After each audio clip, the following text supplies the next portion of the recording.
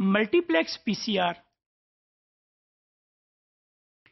Multiplex PCR is a type of PCR which enables simultaneous amplification of many targets of interest in a single reaction.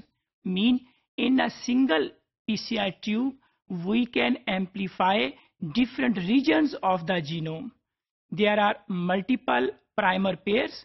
Those primer pairs can be simultaneously used and we can amplify different regions of the genome by using a single tube and by using a single PCR reaction.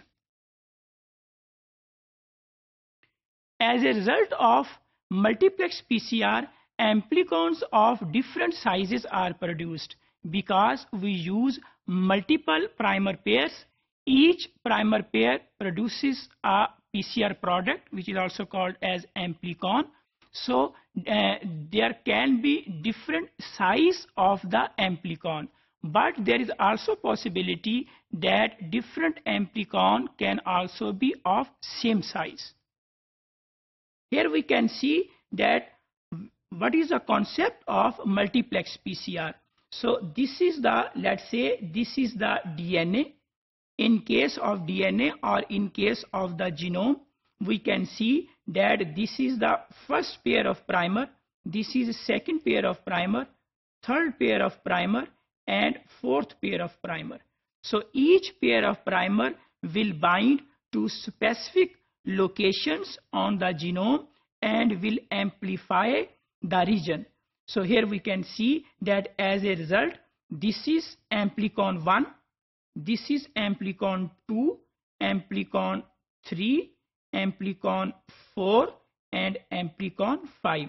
So 5 amplicon can be produced even more than 5 it can be 10 to 15 sometimes 10 to 15 amplicons are produced within a single PCR tube or within a single PCR reaction. So such a PCR in which we use multiple uh, primers, pair of primers and produce multiple amplicons, such a PCR is called as multiplex PCR.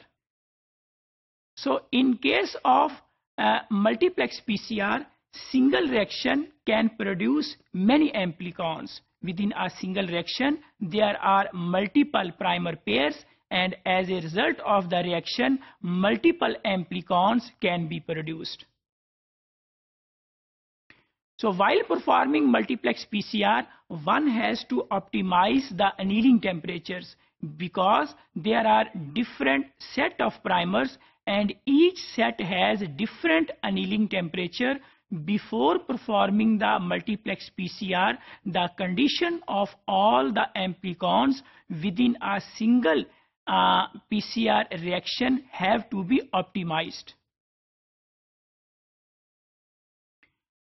Amplicon size should be of different size or it can be labeled. While performing the multi multiplex PCR, if the primers they are not labeled, then the size of the amplicon should be different.